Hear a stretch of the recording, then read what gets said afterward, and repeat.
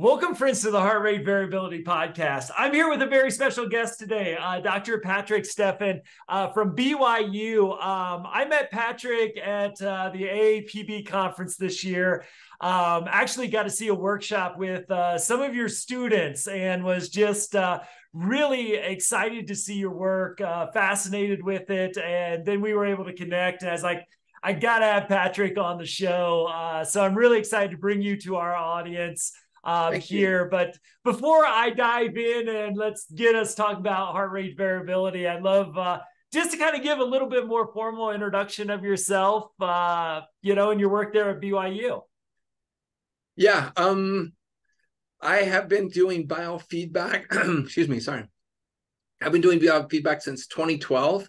So the the director of our clinic decided to buy biofeedback equipment with nobody trained in how to use it. I thought, well, that looks really cool. I like to do more with that. So I got trained, started going to APB. My original training is a clinical psychologist with a health emphasis. So I've done a lot with CBT and ACT as far yeah. as like stress reduction and psychotherapy go. And I think HRV biofeedback in particular is a great adjunct to psychotherapy, something to integrate into our um, psychotherapeutic approach and also our stress management in general. Absolutely. So, so starting in 2012, started using it, finding ways how can we integrate in the clinic, how can we integrate it with uh, psychotherapy, and then it's been great since then. And go, like you say, going to AAPB is a great meeting. Yeah, get to know Paul Lehrer and Dick Gevirtz there, and uh, Fred Shaffer and Don Moss and a lot of other people. So it's been a great experience. All friends of the show. So uh, yeah, we have been really fortunate enough to have some of you uh, that are really leading uh, the push here. So I would love to talk about that that sort of transition. Well, maybe transitions the the integration, maybe a better word of when you started to do biofeedback. Uh, it sounds like you were already doing psychotherapy and then integrating that in. And I'd love to just kind of see like how how that started. Is the integration of technology change? Kind of maybe how you practiced your approach. I'd love to kind of hear that experience of, hey, somebody bought this expensive piece of equipment. Uh, somebody's got to use it. So let's throw it, uh, Patrick in there to figure this out. I'd love to, like, how has it informed your work since uh, you first got your hands on that machine? I think it's important to start with a uh, a grounding in that we are both mind and body, and that our our minds impact our body, of course, but our bodies also impact our minds. So if we learn to become more aware of ourselves, you know, mindfulness is integrated across psychotherapy now. And I think biofeedback similarly adds a lot to learning about what's going on in our bodies and then learning to move towards self-regulation so we can be aware of and then um, change for the better or at least regulate in a positive direction so we have stress depression is also related to heart rate variability more depression less heart rate variability I've also seen that with HRV with anxiety, it's really helpful. A lot of people with anxiety sometimes feel like, oh, people are just trying to say it's all in my head. Yeah. But it's really it's a whole body experience to feel anxious. You know, you feel it in your heart, you feel it in your hands, you feel it everywhere. And I think a lot of uh, clients really appreciate being able to see in real time that there's nothing really just all in your head. There's no magical line at your neck where this is your mind and this is your body. It's all interconnected. Yeah. So if we're having a stress experience or a stress, a really strong stress response, that's going to impact our minds as well as our body, and we're going to start feeling that that worry, that anxiety. We had a client once that did not want to be in psychotherapy, but they'd been through a million doctors, and doctors kept trying to, you know, roundabout tell them, you know, it sounds like anxiety, but they didn't want to hear that.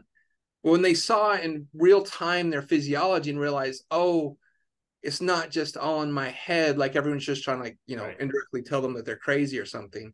That if they learn to be aware of their physiology and then regulate their physiology that they can change their anxiety experience. And that was just like you know this aha moment for her to say oh there's physiologically there's things i can do that have a, a tremendous impact not just on my body but also on my mind both both ways I, lo- I love that so and, bringing that integration in like you know obviously being there at byu as well like so you got this fancy machine sitting around you you jump in start start using it I, I, you know, obviously I met some of your students uh, at yeah. the the conference, so I'm assuming something uh, you obviously liked it. Uh, you obviously saw some benefit on it, and then kind of I, am just curious how that that machine started to get other, you know, maybe research going and other things uh, there that are also uh, in your orbit.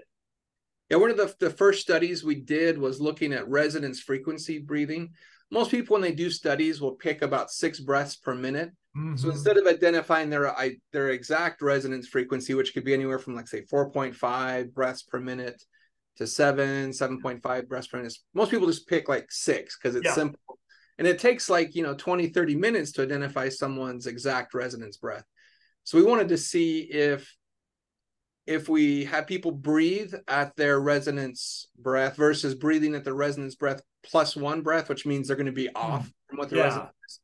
So we had them practice that. Then we had them do some simple math stressors and then a recovery period. And we found that people, when they were breathing at their resonance frequency, they did better in response to the uh, math stressor. Physiologically, they didn't respond as much. They recovered more quickly. So we found that there, you know, there's benefit to the, the you know resonance breath or resonance frequency breathing to take time to learn to do that. So that was one of the first things we did. And two of two of my students at that time have now moved to the counseling center at BYU that works directly with the students, and they run a they've created within the counseling center there a biofeedback lab, like a stress management biofeedback lab, where they teach people um, some basic HRV and teach them how to use the equipment, and then they allow students to come in on their own and use it. You know, they have like those different games that you yeah. can play where you can uh, learn to regulate physiology as you play games. How cool. That, that that's amazing. So I wonder, like, as you introduce this to your students, and obviously they they kind of got the bug as well uh, with this too. I sort of I, I'm wondering kind of the as as they maybe a lot of them hadn't heard about heart rate variability. How how is it like to for them to sort of uh, include that as part of their learning experience uh, as students? I think the the younger generations, like you know, I'm I feel like I'm an older, I am definitely an older person now the younger students, the clinical psychology students, I think it just makes sense to them to think of mind body as being interconnected and it's important to treat the whole person. Yeah. To work, to work with the whole person. And so for a lot of them, they just clicks immediately and they're like, oh, yeah, this is great. And they want to learn how to do it. Um, we're also working with uh, Michael Larson, who's a neuropsychologist, and two of his students are looking at HRV biofeedback, one with uh, post concussion or TBI. Oh, cool. Uh, post TBI patients or currently have TBI. And another is looking at aging. So looking at people in their 50s, 60s, 70s, looking at HRV and aging if there's differences. And they're doing a a brief HRV protocol to see if if can you change that somewhat their their symptom profile or their experiences by doing some HRV biofeedback. So people that aren't even in neuropsych, you know, I don't usually think of people, you know, they're not usually your biofeedback people because they're much more about assessment. Yeah. About the intervention. But now they're excited, like, oh, we can do more than just do assessment in neuropsychology. We can maybe do some interventional things. So Amazing. yeah. Cool.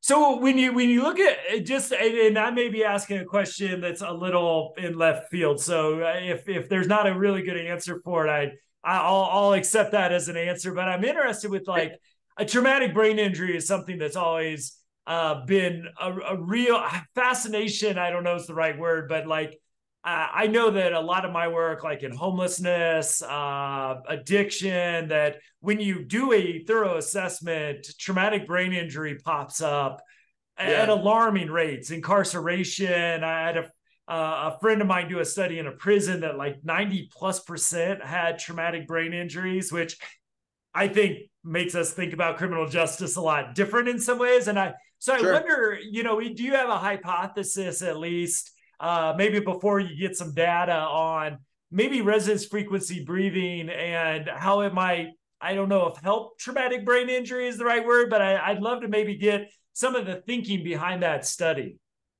Yeah, we don't know if it'll help, but that's why we're doing it. But there's a large research literature out there showing that with traumatic brain injury, that HRV will go down. So this mm-hmm. is like been known for a while and there's no intervention. So we're just, you know, dipping our toes in, charting new waters here the, to look at well maybe hrv biofeedback might be of some help in these situations. That's so hopefully we'll find out. So with with um mentioned incarceration and homelessness with a lot of tbis you'll get more impulsive behavior. So your ability to inhibit goes down.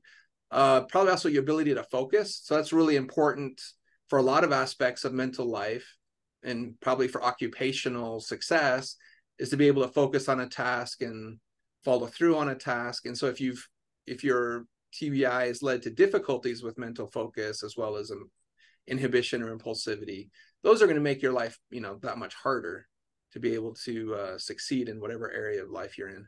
Absolutely. So I wonder, you know, having kind of gotten exposed to this back in 2012, uh, you you you beat me by several years uh, with that date.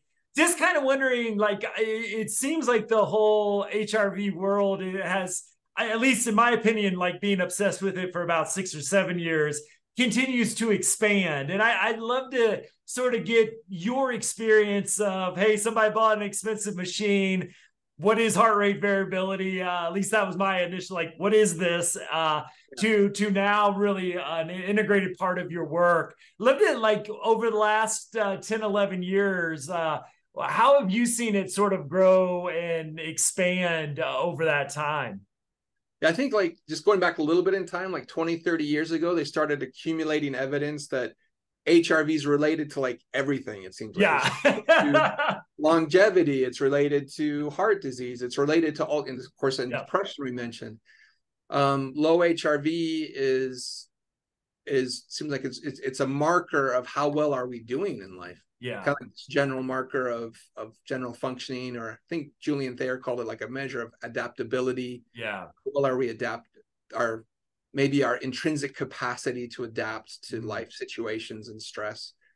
And that got me excited. First, learning about it, about feedback, and then learning about HRV is, I think, like you see in this last 10 years, now people are like, well, what can we do? We know this is bad if it's not, if it, we have low HRV. So, what can we do about it? And so, there's all kinds of things happening now where people are exploring what are the possible interventions. We even see, like, I think I find it really intriguing, like wearables like people that try and measure themselves um not just rings and watches but like they have these shirts that have sensors yeah. in that they're like there's what is that movement called the quantified self movement where people yeah. are just really intrigued with collecting data about the self you can store it on your your watch or i guess through your watch but onto your cell phone.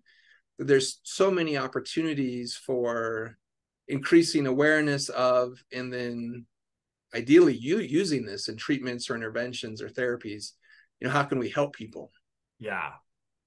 And that, that's the exciting like like you said if you put that together with a different understanding of self like there's there's a physical reaction which uh, whether i'm talking about like the neurobiology you know what's going on in the brain yeah. with trauma stress or the autonomic nervous system I, there's something freeing about that. Like i call it kind of like trauma and stress literacy. Like how, how do we as professionals understand this enough to help teach others? Because I've just seen some pretty powerful examples of people's lives changing once they realize, okay, I'm, I'm there's something there, and it's not just like hypochondria or making it up or something like that, which I think yeah, is like yeah, exactly so a weirdly powerful thing uh, in a lot of people's recovery and ability to live a better life as well yeah, I think it gives people hope that oh, there's something that I can do.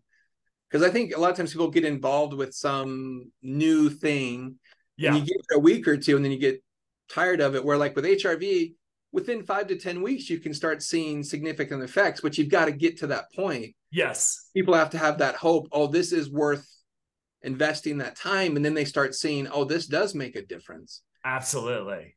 Yeah. And that's like the whole thing with my so many people I like talked about mindfulness, like they they're I, you know, and as as a, someone who's not maybe genetically great at it, like this thing just my brain never stops spinning. Like that, there's not that kind of positive feedback loop, at least initially, with folks, and to see to see that, even if it does take a few weeks, but to start to see and feel resonance frequency breathing, like there's I think when we get to that nice mindful state a little bit better with RF breathing, and then you know you can start to get data which uh, can hopefully for a lot of people I know can be really motivating to continue to move forward.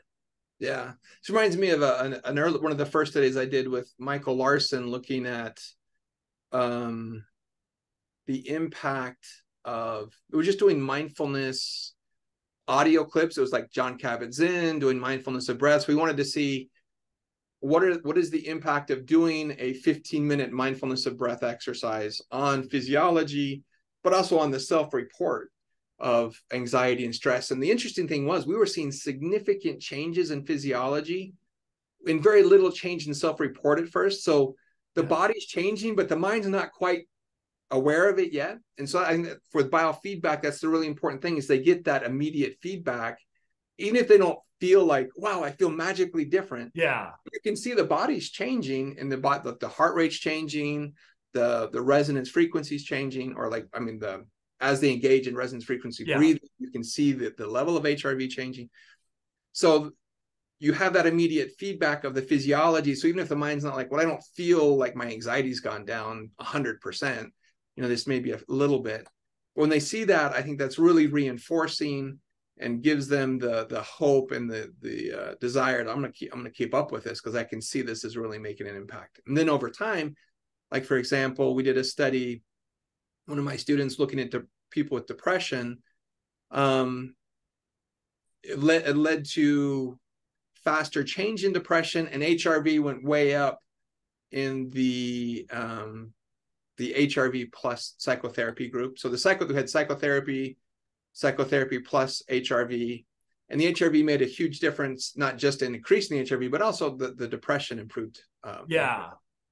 Oh, exciting stuff. So what what is like you know this is what i love about the, this field is it's it still feels even though i know hrv has been around for a while it it still feels new and fresh and like it, yeah, I think it really is. I think of the example of, of you, which I, I hope, I imagine this will be a compliment to you because I, I hope this is said about me. But as Dr. Uh, Inna Khazan is, I'm like, I need podcast guest. Uh, your name was right up there with the Lehrers and others uh, of the world that you mentioned, uh, Thank and uh, which is pretty impressive with just 10 years of, of experience. So, you know, I, I kind of wonder what were maybe some of the other insights uh, along the way in your journey as obviously you were having success with it and then to to continue to grow um, and and become a leader in the field. Uh, what was that kind of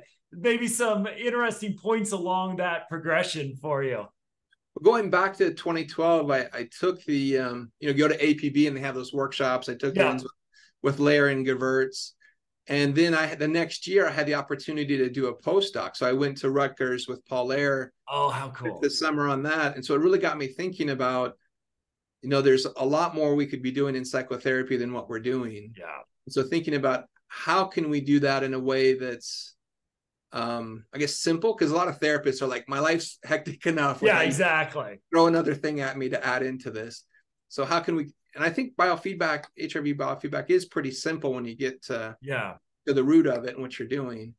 And so thinking of how can we do this in a way that um, engages people and makes it so it's not burdensome but you know useful yeah and so and then and then getting involved at APB, it's it's a wonderful place, and going to conferences each year. Yeah, you see other people's presentations, and it gets your mind thinking, oh, that's an interesting way of thinking about it. So it's being able to go to conferences like that where you get to get to see, you know, what are the current things that are happening, and what are some cool studies they're going. Especially like anytime I see Lehrer Gevirtz or Inna Khazan or uh, Shaffer or Don Moss, or the, you know, and there's a yeah. lot more people right out there, and um, to be able to see their stuff, it always gets me thinking, oh, that that that could be a you know play off that idea or build off of that. There's there's like you said that the it's it's all brand new in terms of the interventional stuff. It's like yeah. last ten years is when this is really taking off.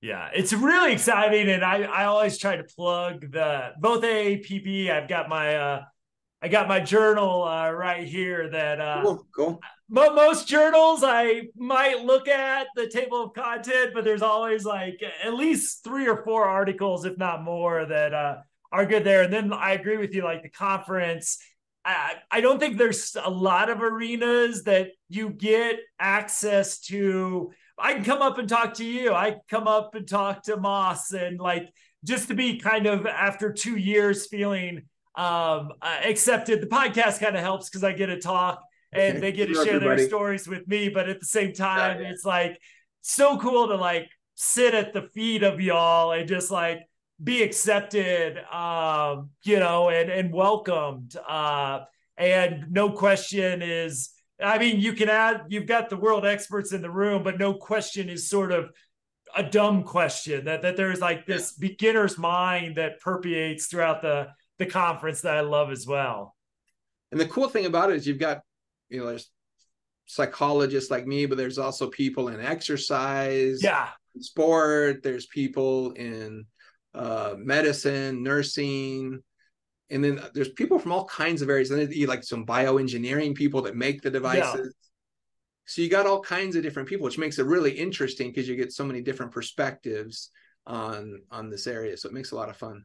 Yeah, you really do. And early plug. Uh, they're they're coming to my hometown of Denver uh, next oh, yeah. year. So uh, yeah, I'll, I'll, just have everybody stay well. over at my yeah. place. We'll take a we'll take a bus down to the the hotel. But uh, sure, sure. Yeah, excited uh, excited to host. So uh, I'm I'm hoping to get you know a lot more because, uh, like I said, it's very accessible group uh, as well. So even if you're new you you don't necessarily get overwhelmed uh, with mm-hmm. what's there. And uh, yeah, I, I'm just so excited it's coming uh, down the road for me. So yeah, yeah, I like the meetings that are more like you know a couple hundred people. More yeah. intimate, more conversational, like you say. I went to a, I've been to APA, APA a couple of times, and it's like an ocean of people. Yes, it's just overwhelming to find something specific to what I'm interested in because it's there's lots of general stuff, but I like yeah. to really get specific towards stress and health is my research area. So I'm really intrigued by that and looking at that. Yeah. That's one area we'd like to do more of is looking at um, minority groups. So yeah, most of the you know, for a lot of psychology, it's like it's just a study of white people for a yeah. lot of time. We're looking at like Hispanics. We looked some some studies looking at Polynesians in general, looking at HRV. But we want to get into biofeedback. We have I had one student that um, she was native Spanish speaker, and she part of her PhD she was working at a Hispanic clinic. And when they brought in biofeedback, the Hispanic people loved it. They were like, "Oh, this is this oh, is really so cool." They love the idea. So looking at how do we, you know, it's, probably not identical across groups that they're going to see things the same way or the, the approach yeah. is identical. So how do we make this or set it up in a way that's that's that's accessible to people across the world? I love that. I love that. So as you look sort of forward, and you know, as, as you look maybe the next five or ten years, obviously you shared some current interest eh, and studies that you're working on where where do you think this will be? Where where are we going with all of this? Because as HRV kind of it's on more people's watches, it's on their wrists, it's on their arms. Uh, you know that there there's you know the Bluetooth sort of movement in there as well. But as heart rate variability gets I, don't know. It, mainstream is probably too strong uh, right now, but yeah, yeah. I mean, it's more and more people are learning about it. I think really getting excited about it uh, Kristen Bell. Uh, my wife says, do you, do you know Kristen Bell? I don't think my I think my wife thinks I made up the idea of heart rate variability uh, in a dream. So she's like, Kristen Bell's talking about this now, and I'm like, oh, that's great. So you know, at least we got one celebrity uh, talking about it on our side. But uh, I just love to love to get your idea, maybe from academic studies, and also just kind of for the general population as this gets more and more uh, prevalent uh, and the understanding of HRV is is growing fairly rapidly. Yeah, there's two things for the future that I would hope to see, wish to see. One is more integration between for psychotherapists of any stripe to to to have an easy module or easy way that they can integrate it. You don't have to become an expert at it to like use some basics. Um, Don Moss and I are editing a book for Oxford University Press called integrating psychotherapy and psychophysiology. Awesome. And we have chapters from Paul Lehrer and Dick Gevirtz and Inna Khazan, as well as people like, if you know Paul Gilbert, who's compassion focused therapy. He, yeah. he created that approach. And we have like Stefan Hofmann looking cool. at uh, different approaches, and Tim Smith from the University of Utah. We've got people from all over the world, and this will be coming out this fall. So really excited about getting people thinking about how do we bring in psychophysiological approaches like biofeedback. You can even say mindfulness really is in a in a way it, it elicits a lot of psychophysiological benefits. You'll say mindfulness impacts HRV, mindfulness impacts, they do a lot of neuro or MRI type studies. So it's definitely there. The research is there. Now let's find a way, like you're saying, how do we get this into the mainstream of psychotherapy? How do we get this in the mainstream for people in general? Having famous people doesn't hurt, right? That yeah. if someone famous is doing it, then they're going to be like, oh, that that person's doing it, so maybe I'll give it a shot. I'll you know check that out. So that you know between the you know the publications and maybe creating simpler things that people can integrate and then you know getting the the general population as well the average person access and knowledge awesome any other uh, uh, points on your journey that that we haven't covered yet? We've kind of gone in the past, gone the future, but I don't want to. I don't want to end the podcast if we've missed any uh, other gems that uh, might have been uh, lying with, within your experience or interest uh, with this. I think we covered the big ones. I know this is uh, appropriate for a podcast. So I was going to ask about your journey, but maybe you've already done that in a, in a previous podcast. Yeah, so I mean, I'll share it here because I, I think that it uh, it it sort of fits a little bit into to. I think we overlap in uh, a, pretty meaningful way. So my work uh, has historically been uh, with trauma, trauma informed care has been pretty much central to my career ever since I saw the adverse childhood experience study in around 2003. Yeah. So, um, working in child welfare, homelessness, those realms, you know, trauma was always there. We just weren't talking about it. Uh, we were talking about people making bad decisions, and there was that behavioral. Like, I got trained, like, right, cognitive behavioral therapy was, you know, we could measure it, we could get evidence. So, that we were moving away from like strict behavioralism into that.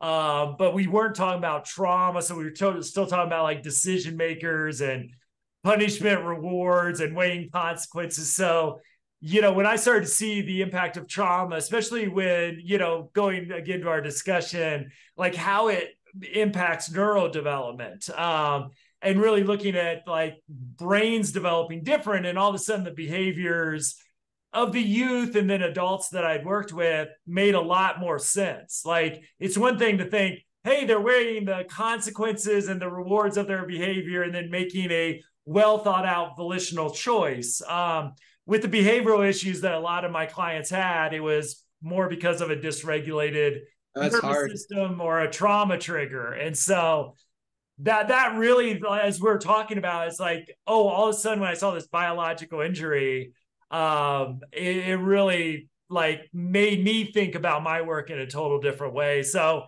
I I kind of dedicated myself to I'm not going to shut up about this until anybody that wants to hear me talk about it will hear me. I didn't necessarily set off to do a lot of trainings and consulting around it, but it kind of evolved in. I guess I talked about it fairly well, at least enough for uh, that to become a good part of my career.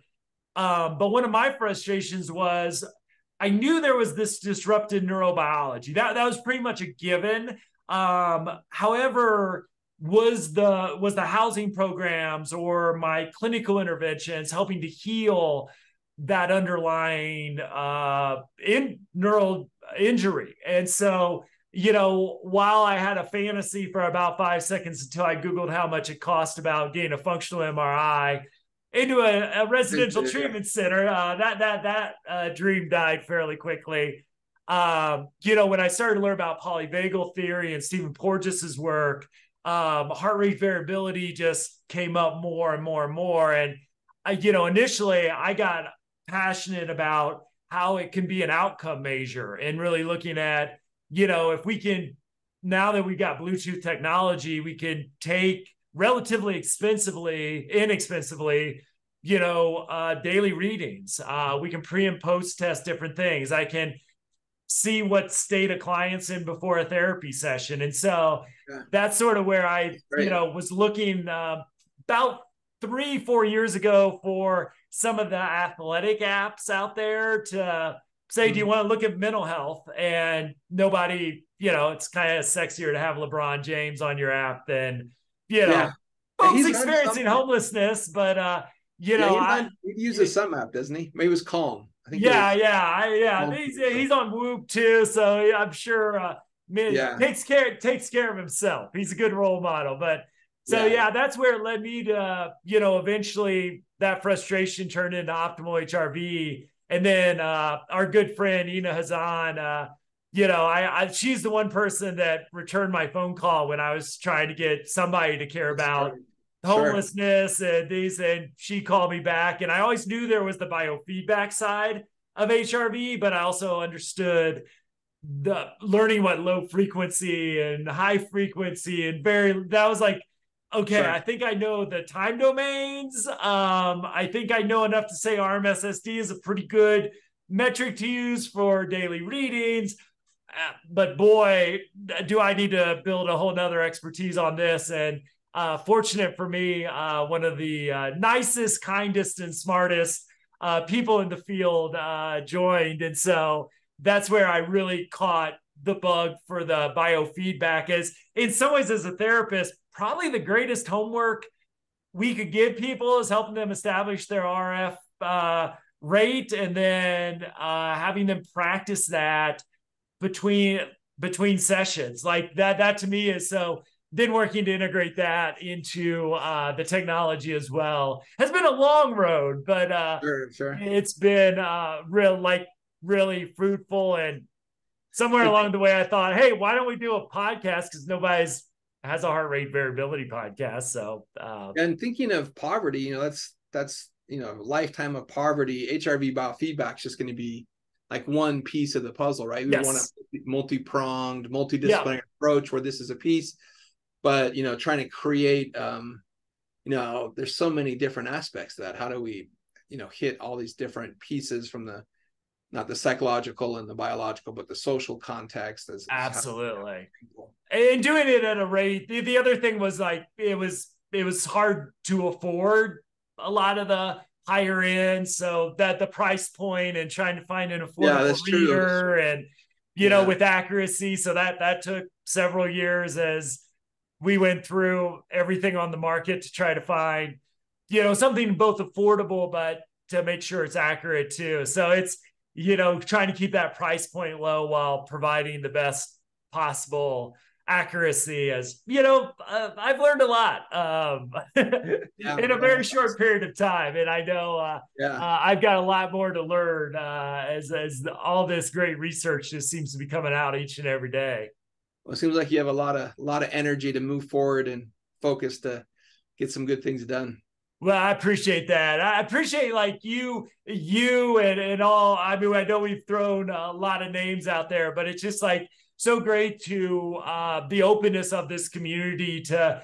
to talk about your experience, talk about your research, because you know I, I don't think there's a lot of conversations going on about this, and I know my audience who after I think this will be like episode one seventeen or eighteen, like have stuck with us uh, through this exploration and uh, the numbers keep ticking up. So uh, yeah, you, you all are both entertaining and brilliant, which I appreciate. Thank you. Thank you. It's been good talking to you. Yeah, well, Dr. Steffen, I want to thank you for your time and your work. Um, uh, obviously you're at BYU, BYU. We'll put a little information about you in the show notes. So if people uh, want to learn more about you, they can visit our show notes. But uh, I just want to give you an open invitation. Uh, hey, if you get a juicy piece of research for us, uh, know the door is always open. Uh, love to have you back uh, oh, sure. and That'd share more of your journey as it, it plays out. Thank you. That'd be a lot of fun. Thank you. As always, you can find show notes, everything else at optimalhrv.com. And uh, I will see you next week.